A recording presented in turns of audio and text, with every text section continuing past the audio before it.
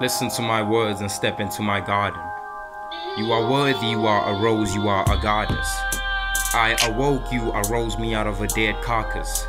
I wrote, I composed a poem out of your broken promises. You were broke, you wore your beauty and essence regardless. My sixth sense to Gotham, for they are priceless. I'm a superhero and you a civilian in Gotham. Seven billion forgotten, you were chosen. If divinity were to be measured in milligram presumptions, and she would be a million grains of gold and somethings. Soul cultivated with culture and roses, embedded so deep where you were cut and open.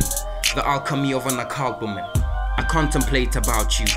I can't complain when I'm around you. I count the days without you.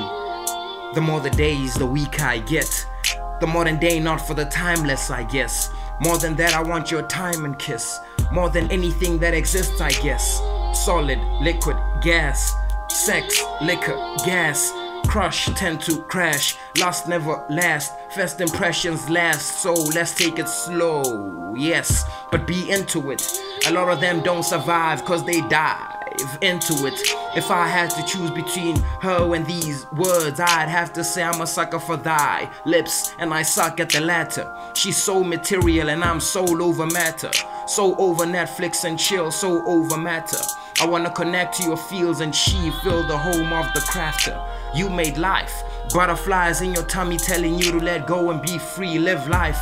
But you fear to be free, live in a dark valley where you are hunted by hungry hymns and haunted by their horny hymns.